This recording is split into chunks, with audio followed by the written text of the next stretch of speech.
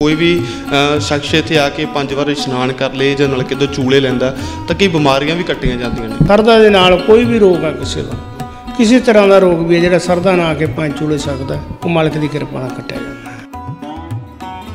ਚਲੋ ਇੱਥੇ ਨਲਕਾ ਲਵਾਇਆ ਨਲਕਾ ਲਵਾਉਣ ਤੋਂ ਅਸੀਂ ਬਾਅਦ ਆਪਦੇ ਅੱਖਾਂ 'ਚ ਪੰਜ ਚੂਲੇ ਮਾਰੇ। ਤੇ ਜਿਹੜੀ ਸਾਡੀ 3 ਨੰਬਰ ਦੀ ਐਨਕ ਲੱਗੀ ਸੀਗੀ ਉਹ ਸਾਡੀ ਫਿਰ 20 ਬਾਈਆਂ ਦਿਨ ਚ ਉਹ ਵੀ ਲੈ ਗਈ। ਮੇਰੇ ਘਰ ਦੇ ਵੀ ਬਹੁਤ ਜ਼ਿਆਦਾ ਬਿਮਾਰ ਹੋ ਗਏ ਸੀ। ਮੈਂ ਬੜਾ ਹੀ ਇਲਾਜ ਕਰਵਾਇਆ ਪਰ ਕਿਤੋਂ ਵੀ ਠੀਕ ਨਹੀਂ ਹੋਏ। ਇਸ ਪਵਿੱਤਰ ਸਥਾਨਾਂ ਤੇ ਜਦੋਂ ਮੈਨੂੰ ਦੱਸ ਪਈ ਤੇ ਅੱਜ ਪਰਿਵਾਰ ਜਿਹੜਾ ਉਹ ਤਰੱਕੀਆਂ ਤੇ ਆ। ਲੋਕ ਇੱਥੇ ਆਉਂਦੇ ਨੇ ਕਿਹੜੇ ਕਿਹੜੇ ਦਿਨ ਜ਼ਿਆਦਾਤਰ ਲੋਕ ਆ ਕੇ ਨਤਮਸਤਕ ਹੁੰਦੇ ਇੱਥੇ ਜ਼ਿਆਦਾ ਹੀ ਵੀਰਵਾਰ ਤੇ ਮੰਗਲਵਾਰ ਤੇ ਐਤਵਾਰ। ਬਾਕੀ ਕੋਈ ਵੀ ਦਿਨਾਂ ਤਿੰਨਾਂ ਦਿਨਾਂ ਤੋਂ ਕੋਈ ਵੀ ਆ ਕੇ ਪੰਜ ਹਾਜ਼ਰੀਆਂ ਭਰ ਸਕਦਾ। ਵੀ ਇਨਸਾਨ ਸ਼ਰਧਾ ਭਾਵਨਾ ਨਾਲ ਪੰਜ ਵਾਰੀ ਇਸ਼ਨਾਨ ਕਰਦਾ ਕਿ ਉਹਦੇ ਜੋ ਫੋੜੇ ਫੈਂਸੀਆਂ ਵਗੈਰਾ ਜੋ ਉਹ ਸਭ ਉਹਨਾਂ ਦੇ ਦੂਰ ਹੋ ਜਾਂਦੇ ਆ। ਮੇਰੇ ਘਰ ਵਾਲੀ ਢਿੱਲੀ ਹੋ ਗਈ ਸੀ ਭੈਣੋ ਉਹਦੇ ਜਨੇਮ ਨਿਕਲਿਆ ਸੀ ਮੱਥੇ 'ਚ।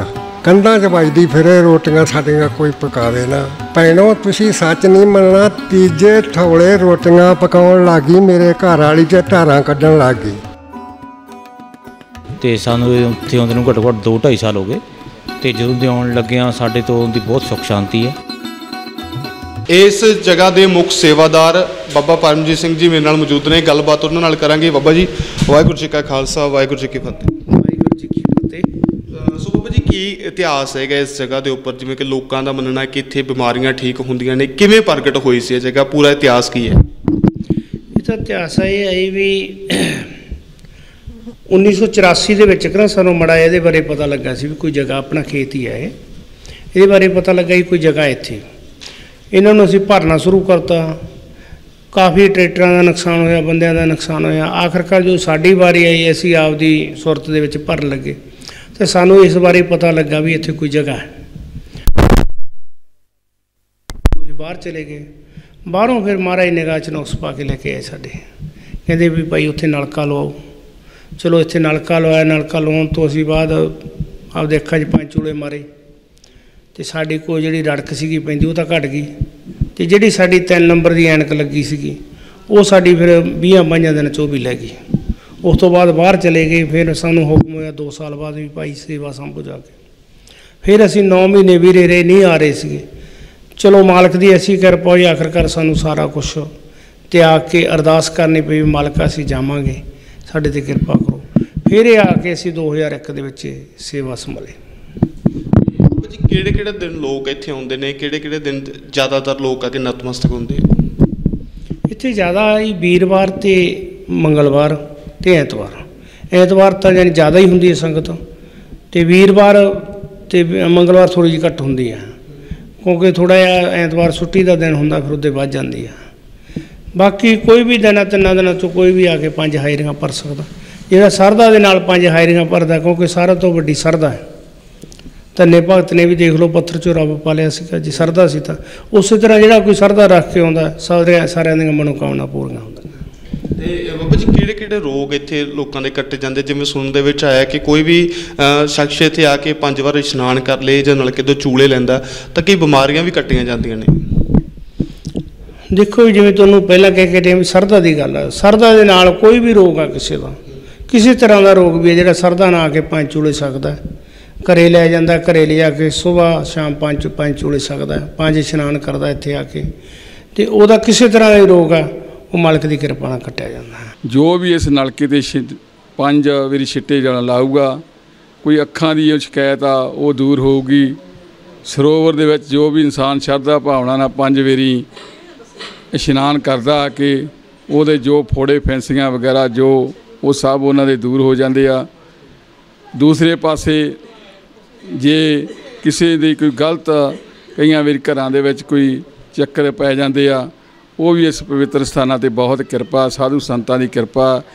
ਬਾਬਾ ਜੀ ਜੋ ਉਹਨਾਂ ਤੇ ਹੱਥ ਰੱਖਦੇ ਆ, ਕਿਰਪਾ ਕਰਦੇ ਆ, ਗੁਰੂ ਗ੍ਰੰਥ ਸਾਹਿਬ ਮਹਾਰਾਜ ਇੱਥੇ ਪ੍ਰਕਾਸ਼ ਆ।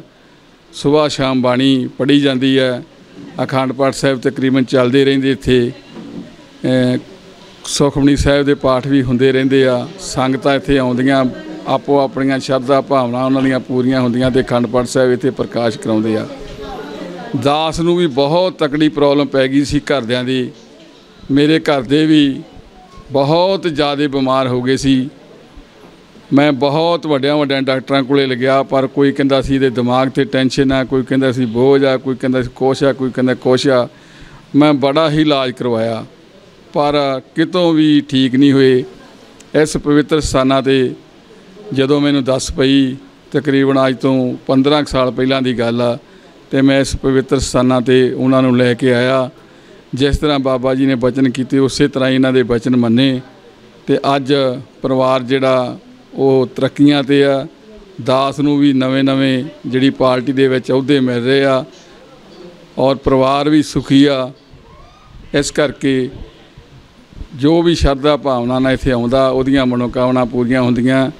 ਜਿਸ ਤਰ੍ਹਾਂ ਮੇਰੀਆਂ ਵੀ ਹੋਈ ਮੈਂ ਵੀ ਜੋ ਪਰ ਬਾਬਾ ਜੀ ਦਾ ਬਚਨ ਹੁੰਦਾ ਸੀ ਉਹ ਮੰਨਦੇ ਸੀ ਅਜੇ ਵੀ ਮੰਨਦੇ ਆ। ਸੋ ਇੱਥੋਂ ਦੀਆਂ ਸੰਗਤਾਂ ਮੇਰੇ ਨਾਲ ਮੌਜੂਦ ਨੇ। ਸਤਿ ਸ਼੍ਰੀ ਅਕਾਲ ਜੀ ਕੀ ਨਾਮ ਆ ਤੁਹਾਡਾ? ਮੇਰਾ ਨਾਮ ਪ੍ਰਕਾਸ਼ ਸਿੰਘ ਗਿੱਲ ਹੈ ਜੀ ਪਿੰਡ ਕੋਕਰੀ ਕਲਾਂ ਜ਼ਿਲ੍ਹਾ ਮੋਗਾ। ਤੇ ਸਾਨੂੰ ਇਹ ਉੱਥੇ ਆਉਂਦੇ ਨੂੰ ਘੱਟੋ ਘੱਟ ਦੋ 2.5 ਸਾਲ ਹੋ ਗਏ।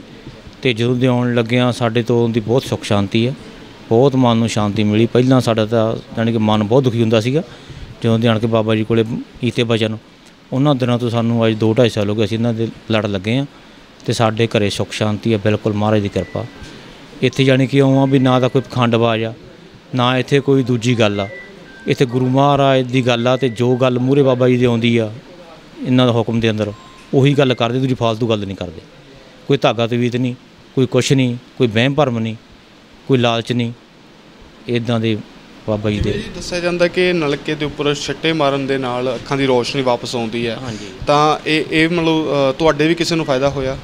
ਹਾਂਜੀ ਵਾਕਿਆ ਹੀ ਚਲੋ ਆਪਣੇ ਤਾਂ ਹਜੇ ਤਾਂ ਵੈਸੇ ਮਹਾਰਾਜ ਦੀ ਮਿਹਰ ਆ ਵੀ ਅੱਖਾਂ ਦਾ ਕੋਈ ਇਦਾਂ ਦੀ ਕੋਈ ਪ੍ਰੋਬਲਮ ਨਹੀਂ ਆਈ। ਪਰ ਫਿਰ ਵੀ ਅਸੀਂ ਜਦੋਂ ਦੇ ਆਣ ਕੇ ਸਰੋਵਰ 'ਚ ਇਸ਼ਨਾਨ ਕਰਨ ਲੱਗੇ ਆ ਜਾਂ ਇਸ਼ਨਾਨ ਕੀਤਾ ਜਾਂ ਸੰਗਤਾਂ ਤੋਂ ਸੁਣਿਆ ਅੱਜ ਤੋਂ 20 20 ਸਾਲ ਹੋ ਗਏ ਸੰਗਤ ਜਿਹੜੀ ਪਹਿਲਾਂ ਆਉਂਦੀ ਉਹਨਾਂ ਨੇ ਸਾਨੂੰ ਦੱਸਿਆ ਵੀ ਸਾਨੂੰ ਇੰਨੇ ਸਾਲ ਹੋ ਗਏ ਆਉਂਦਿਆਂ ਨੂੰ। ਤੇ ਸਾਨੂੰ ਆਣ ਕੇ ਵੀ ਪਤਾ ਲੱਗਿਆ ਵਾਕਈ ਇਹ ਗੱਲ ਵੀ ਹੈਗੀ ਆ ਜਾਂ ਸਹੀ ਆ। ਸਹੀ ਕਰਕੇ ਤਾਂ ਸਹੀ ਨੂੰ ਕਵਾਂਗੇ। ਤੇ ਜੇ ਗਲਤ ਹੁੰਦੀ ਤਾਂ ਫਿਰ ਅਸੀਂ ਇੱਥੇ ਉਹਨਾਂ ਲੈਣ ਕੀ ਆਉਣਾ ਸੀਗਾ? ਇਸ ਕਰਕੇ ਜਗ੍ਹਾ ਦਾ ਜਾਣ ਕੇ ਜੋ ਇਹਨਾਂ ਦੀ ਇੱਥੋਂ ਦੀ ਮਾਨਤਾ ਹੈਗੀ ਆ, ਅਸੀਂ ਉਸ ਦੇ ਵਿੱਚ ਰਵਾਂਗੇ ਤਾਂ ਕਾਮਯਾਬ ਹੋ ਕੇ ਜਾਵਾਂਗੇ। ਬਾਕੀ ਕੋਈ ਟੈਨਸ਼ਨ ਨਹੀਂ, ਕੋਈ ਫਿਕਰ ਨਹੀਂ, ਫਾਕਾ ਨਹੀਂ।